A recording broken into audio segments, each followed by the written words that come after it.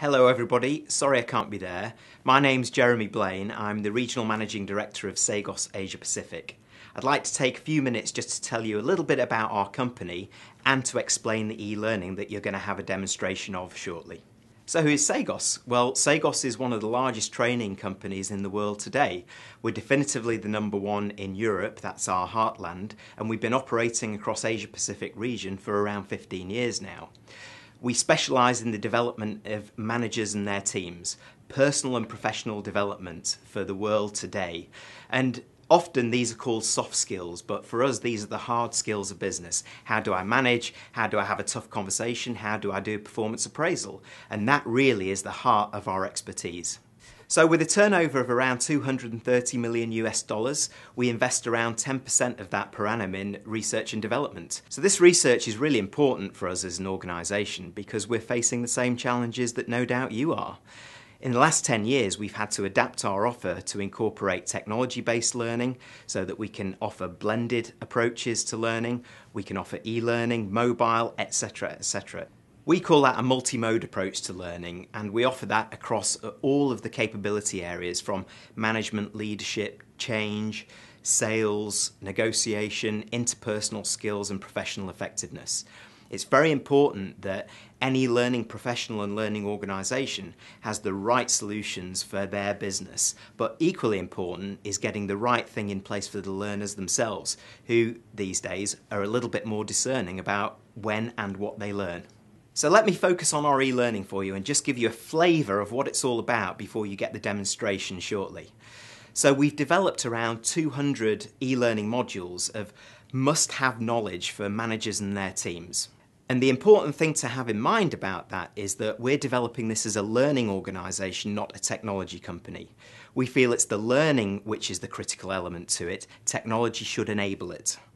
So let me just walk you through a very simple model which explains what they are, how they work, and importantly, what you can do internally to implement these in your organisation.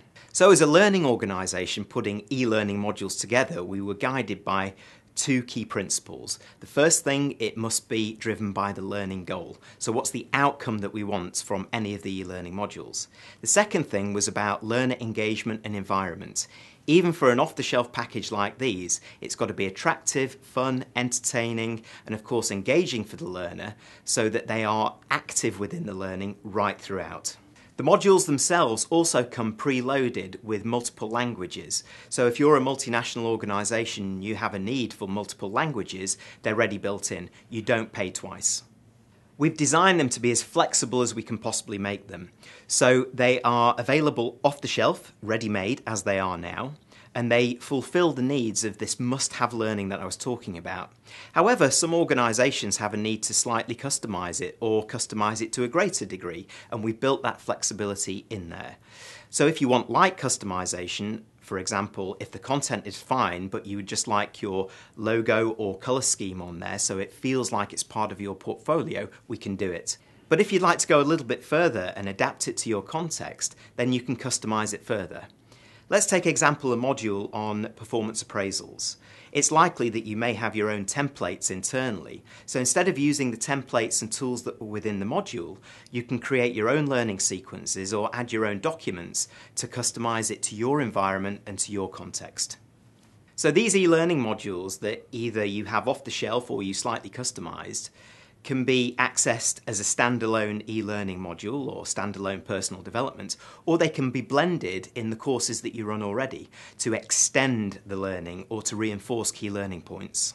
They can even be associated with assessment pre and post each e-learning module so that you can get a sense from each individual learner going through it where they were where they started the module and where they are afterwards. To supplement that assessment throughout the module itself, we add quizzes, activities, and tests so that the learner is constantly engaged and is reinforcing the learning as they go along rather than just waiting to the end.